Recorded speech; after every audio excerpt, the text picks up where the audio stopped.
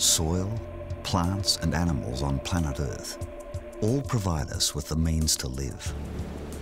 This is our environment. But our environment is changing. It's warming up. Because of the gases we send out into the Earth's atmosphere.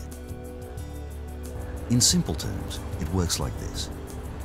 Every day, when we produce our food, our clothing, our homes, when we travel, when we manufacture products, when we throw away products, we send out gases that are harmful to the planet into the Earth's atmosphere. These gases, mainly carbon dioxide, methane and nitrous oxide, are called greenhouse gas emissions. Just like a greenhouse traps heat to increase the temperature, to grow plants. They trap heat within the atmosphere above the planet. This trapped heat causes global warming.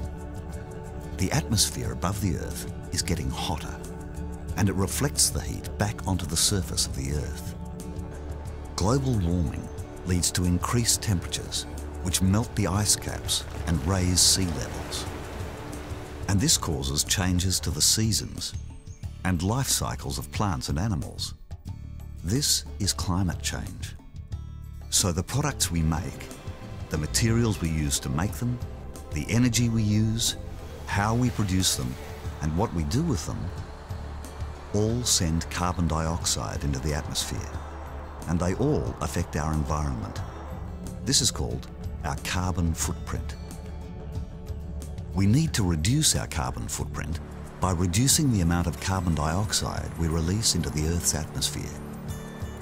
What can we do about this? A lot. By doing little things. Do them every day, at work and at home. They all add up and they all contribute to the future of our planet and to the futures of our children and grandchildren.